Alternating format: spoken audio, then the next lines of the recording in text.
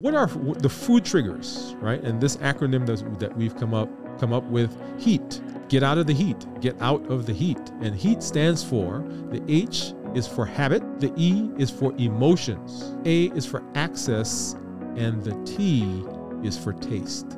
So these are the categories that all triggers pretty much fall into. H E A T. So we want to get out of the heat.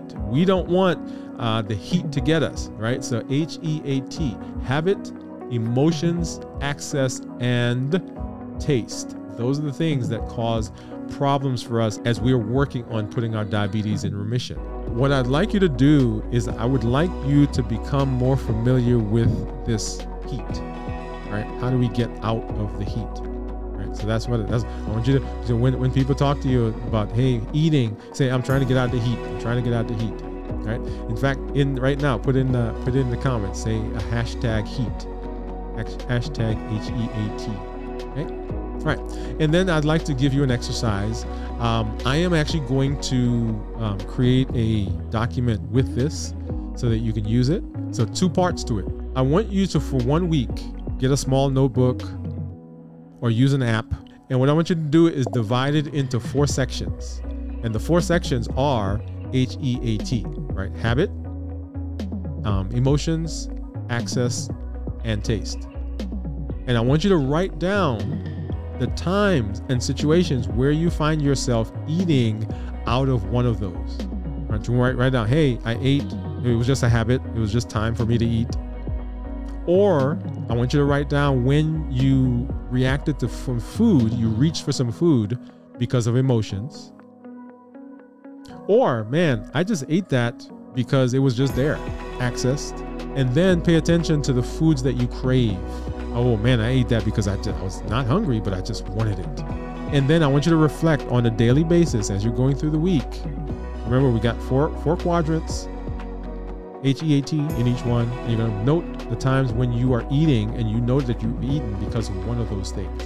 And on a daily basis, I want you to reflect. At the end of the day, take a few moments and review what you wrote down. Look at the patterns of specific triggers that lead you to eat outside of just when you're physically hungry.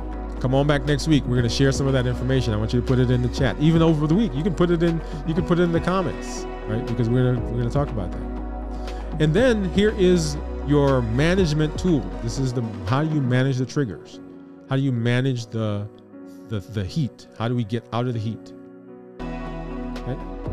Once again, divide your sheet into four sections. And I want you to list the triggers that you've identified under each of them, under each of those quadrants.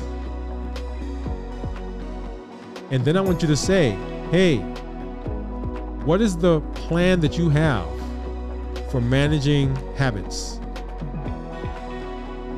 What is your plan when, hey, I'm I know I'm eating this out of habit. So I'm not going to I'm not going to eat when I watch TV.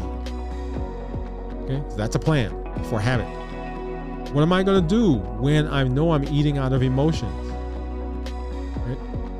I'm going to work on developing a better, a more healthy coping mechanism rather than eating. You're going to write that down. So you're coming up with plans for each of the four.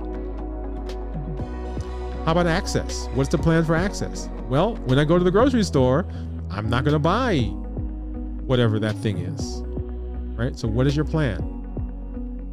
And then for taste, how do I mitigate the fact that, oh, I just love that Pringles. I just love that cookie. I just love that brand of whatever. Right? So, what are some healthy recipes that you can use at home for doing that? What are some other foods that you can buy at the grocery store? And then begin working on those. Okay? So, we're to, first of all, for the week. Going to draw on our paper, right, four different squares. And within the square, H E A T. And every time that I eat out of habit, every time I eat out of emotion, every time I eat just because it's there, out of access, every time I eat because of the taste, I'm to jot those down. And then I'm to come up with a plan for how do I deal with that particular trigger. How do I deal with triggers of habit, triggers of emotion, triggers of access, and triggers of time?